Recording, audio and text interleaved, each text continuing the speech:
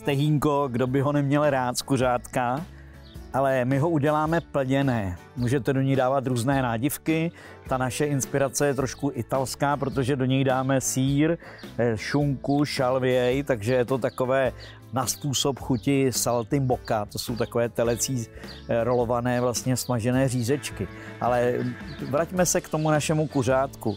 Eh, já vám ukážu teď detailně, jak takovéhle stehínko vykostíte, takže nám z toho stehínka vlastně zbyde jenom tadyhle ta konečná palička a to, ty ostatní kosti nahradí náplní.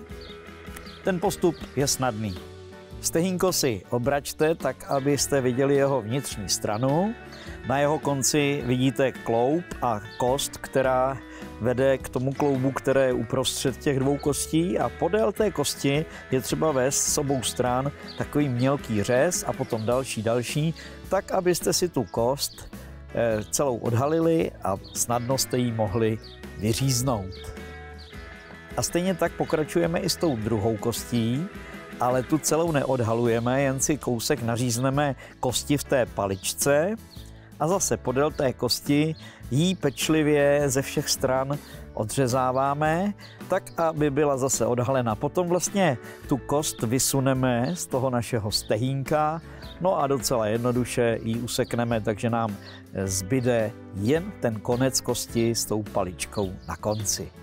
Tu svalovinu na té kůži, která nám tady zbyla, ještě několika řezy prořízneme to stehínko se nám krásně takhle rozloží a my ho můžeme snadno ochutit a následně naplnit a potom svázat. Ale k tomu se dostaneme za momentík.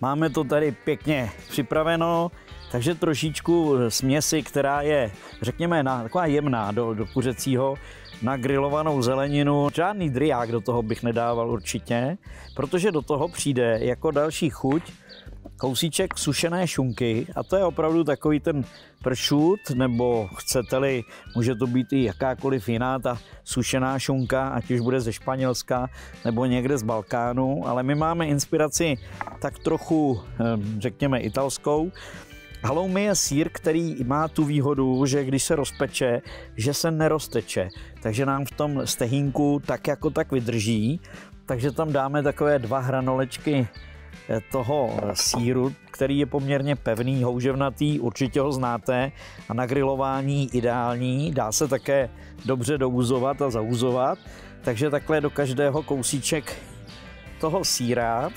No a aby to dostalo zvláštní a příjemnou chuť, tak tam přijde bylinka, kterou osobně mám velice rád a to je šalvěj, ano, babské ucho, možná si řeknete, ale my ho nebudeme z něj dělat žádný kouzelný odvar, my prostě doprostřed každého toho stehínka ložíme takhle kousek šalvěje a ona opravdu krásně s tou šunkou a s tím masem dohromady to prostě přichutí a navoní.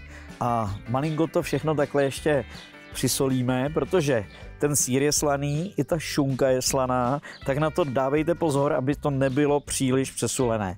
A teď vlastně zase znova eh, ta stehínka takhle dáme dohromady, tak jako by to byla ta stehínka původní.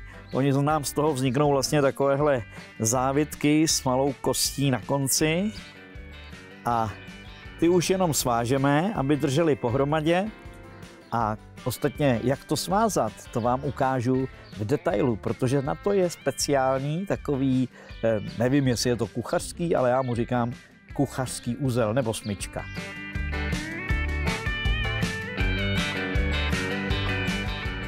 Máme to pěkně svázané, ale ještě než to pověsíme takhle pěkně zaudit do komína, tak to nejprve na grilu, ne z prudka, ale tak jako pěkně pomalonku rozpečeme. A teprve potom přijde na řadu naše udírna.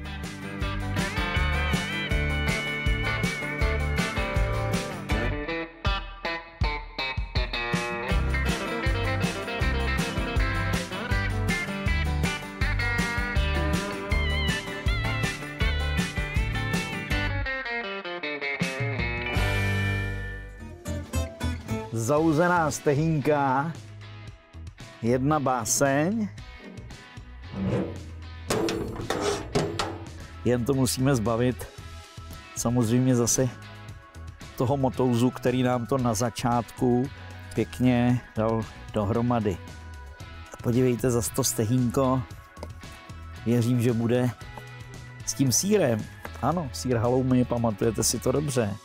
Je tam sír haloumy, je tam suchá šunka a je to pak takhle nádherné stehínko. A ta šalvěj, úplně nádhera. Opravdu krása.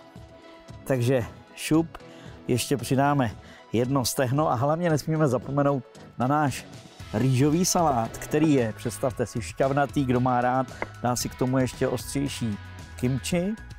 Takhle to podle mého názoru ladí. A kdo si k tomu dá pak lísteček salátu a nějaké rajčátko, klíďo píďo. Takže myslím si, že bude všem chutnat.